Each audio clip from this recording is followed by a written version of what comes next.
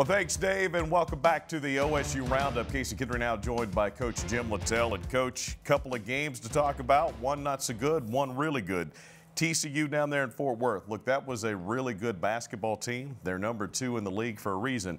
And for whatever reason, the offense just wasn't there in that game. Defense was, but they just hey, that's a that's a really athletic basketball team. TCU's long and athletic, and they switch positions one through five, so it's a little hard to get things going offensively. And it's a very experienced team. They play six seniors and one junior, and and uh, they just know how to play. And they've had a great year and been very successful. Uh, you know, to, to, take a plus out of it, we held them to 49 points and did a really good job on the defensive end. But it was one of those nights uh, that, uh, you know, you hope your defense carries you, but you've got to score more points. And going one for 23 from the three point line isn't uh, conducive to winning. You guys had taken on Baylor, the number one team. You'd taken on the number two team on the road. Coach, emotionally, everybody gets to this point, gets a little wore down. You went through a little team building and preparation for Texas Tech.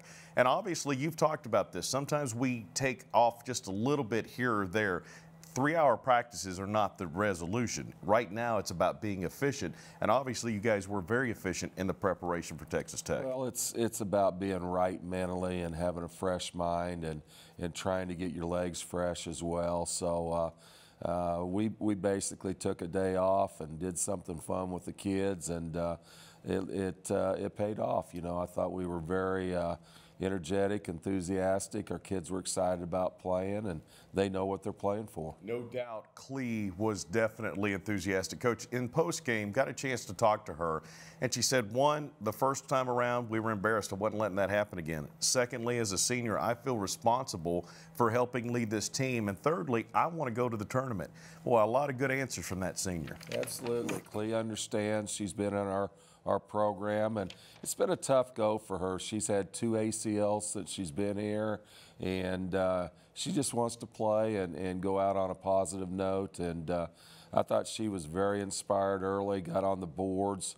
Uh, every time we'd miss a shot early, she was going to go get it and give us second, third opportunities. Hit some big threes when they came off of, Viv and Mac, and uh, by far the best game of her career, point wise and rebounding. Yeah, 23 and 13, six offensive rebounds. And coach, you know, Viv was not uh, as dynamic as she typically is scoring, but nine assists at a career high when uh, when the ball isn't going in, uh, the special players find a different way to beat you. And, and uh, she executed. We put in a little side pick and roll at halftime, and she really executed that. And when they doubled her, she dropped it down to Mac, hit Klee lifting out of the corner, and uh, the really good players find a way to help their team when the ball isn't going in, and, and Viv continued to play really good defense as well. So it was it was a really good night for her, and uh, she set her teammates up. Well, and what an incredible wrinkle there, Coach. If you don't take Viv, she's going to go score, so you have to double and get physical with her.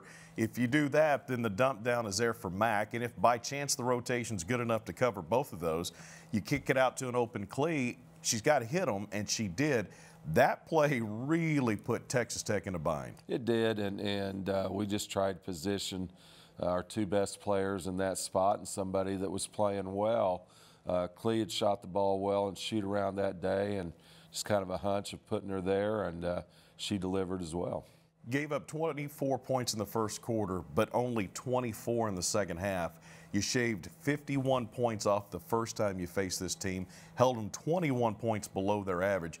Coach, defensively, you guys certainly after the first quarter really got locked in. They did a good job and and uh, kind of changed our, our philosophy. Let's go pressure them, and instead of letting that pass be easy and uncontested to Brewer, let's go challenge the dribbler and make that pass tough and kids really responded to that. Only seven turnovers and caused 15, so really valued the basketball. We did, and uh, thought our shot selection was a lot better. Shot 15 threes. We'd like to be somewhere in the neighborhood of nine or 10, uh, but we hit our first two, and uh, sometimes when that happens, we think we're going to make a bunch of them.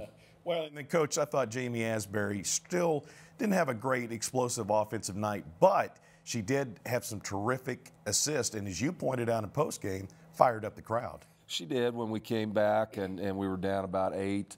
Uh, she had about four or five trips in transition where she had some no look passes and, and hit Klee and hit Mac for easy opportunities. So those things uh, got our crowd into the game and uh, the, the tempo that we played with uh, when we were having trouble scoring on the half was, was because of Jamie.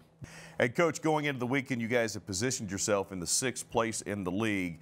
Fifth and fourth still very much there. Fourth is still on the schedule. So what I love about the way this thing's shaping up, these last three ball games are really huge and they're winnable ball games, which it's going to be fun to see how this league finally shakes out. Well, I know this is coach speak, but we've got to we've got to be so locked into to practices and, and playing each possession and all that. We can't look at the, the big picture on it with three games. That's just not how our team works. And, and uh, it's, it's got to be get some rest today, get some shots up, and then get good preparation for, for Kansas, and then we'll go on to the next one. But uh, when you start looking ahead with when you have very little room for air, it'll get you in trouble. So talk about Kansas, Coach. Five o'clock on Saturday in Lawrence, and chance to get a sweep, and a team that's won two out of three, including a game against Texas and on the road against Oklahoma.